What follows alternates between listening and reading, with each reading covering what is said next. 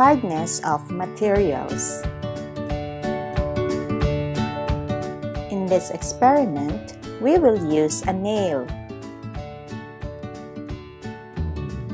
a piece of paper,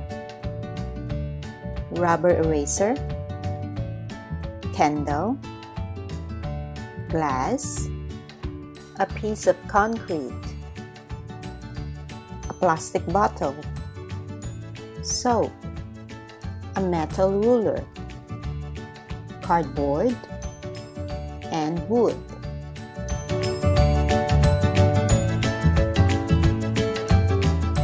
What is hardness of materials? This property describes the resistance of the material from scratching, abrasion, and deformation.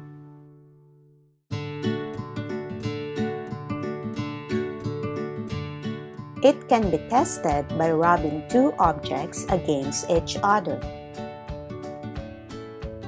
Different objects have different levels of hardness. In this experiment, let us find out on which object will the nail leave a scratch.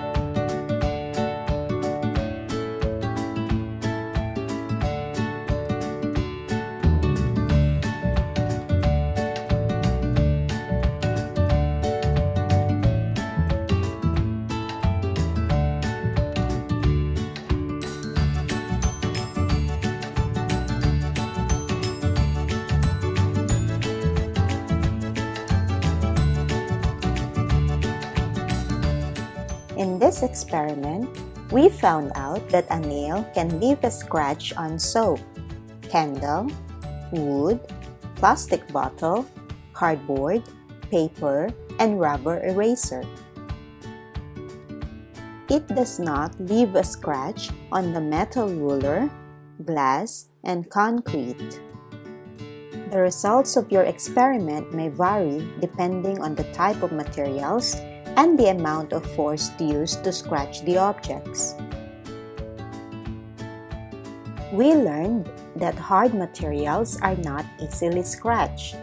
When we scratch two objects, the stronger object will not have any scratch or may have very few scratches, while the weaker object will be scratched by the stronger object.